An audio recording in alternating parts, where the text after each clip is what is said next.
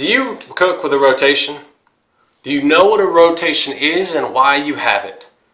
What's the difference between a rotation and cooking ahead?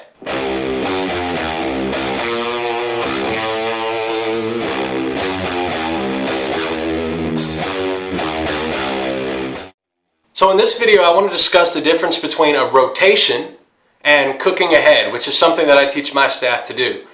So a rotation is when you start off, like right when you get ready to start cooking, you go ahead and you get some burgers going.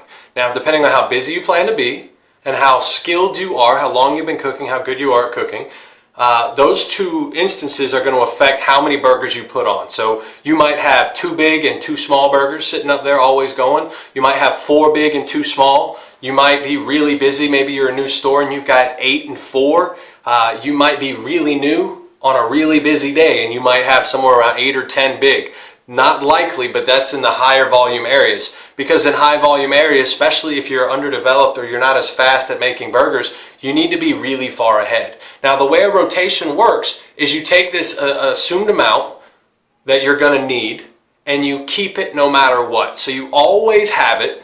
So when a burger comes up, you make another burger and you slide one over. So now you maintain, let's say we're going to keep two and two. You always have two big. If two big come up on a ticket, you take two big, you put it on the grill, you flatten them out, you slide your two over. Now remember that we're sliding them after we flatten the burger because we've already got them cooking. This allows us to keep those ticket times lower, but we have to balance between being busy enough to use that burger before it's cooked and possibly having to set that burger over to a corner and then we leave it there for five minutes which becomes 10 minutes. Then you use one and the next burger sits there for another five minutes. So we're at 15 minutes this burger's sitting over here and then we start deciding to use it. We had too many.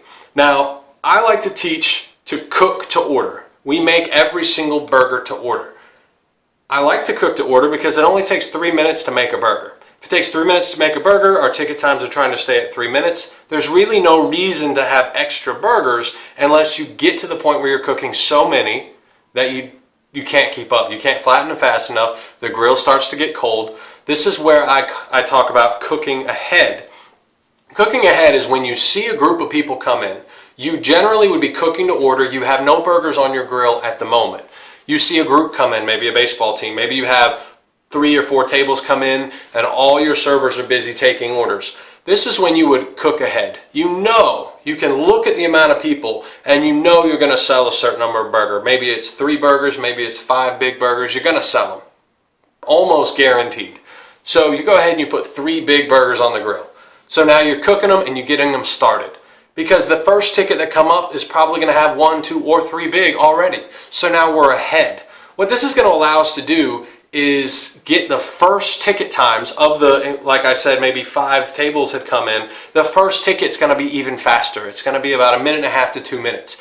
This will allow us, as we start to have to throw more burgers on the grill and flatten them out, the highest we'll ever get is three or four. Whereas if the first one came in at three and the second one three and a half, we might get up in the four and five range. So cooking ahead means that we're going to only drop a few extra when we see the people come in but as we start cooking them, I don't throw more on. So I threw those three on because I think that first table is going to have them. And then as people come in, I, I continue to throw a few on, but by the time I finish cooking the rush, I have no burgers left. So in the middle, towards the end of it, I see it phasing out and I stop cooking more burgers and I use only what I need.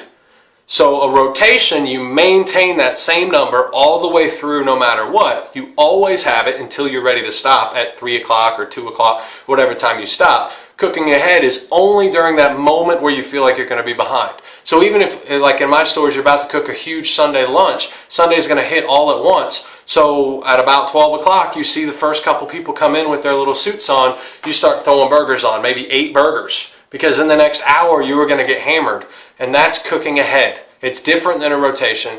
You don't have any extras when you're finished.